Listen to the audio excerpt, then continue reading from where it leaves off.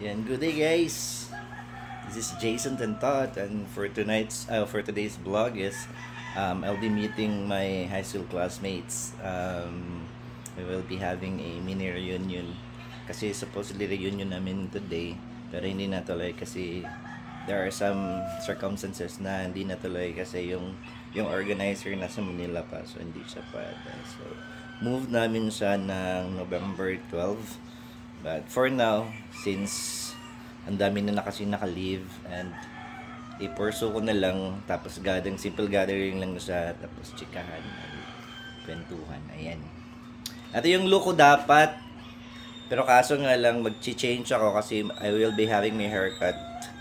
So magdala na lang ako ng ano uh, ng wax para maiba naman yung look mamaya. Yan, bye.